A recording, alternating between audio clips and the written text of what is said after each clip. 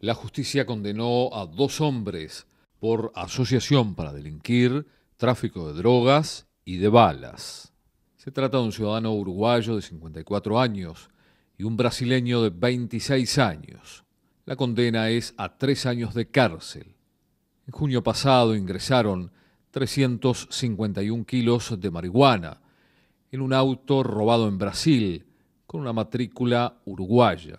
El auto había sido abandonado cerca de Velázquez.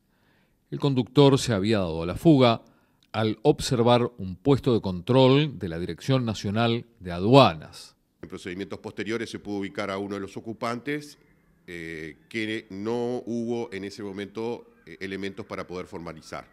Se continuó con el procedimiento con la Brigada Nacional y con la Brigada Departamental, empleando todos los medios tecnológicos que tenemos a nuestro alcance, y se lo logró vincular a esa persona y a otra más. La Dirección Nacional de Aduanas estimó en unos 500 mil dólares lo incautado.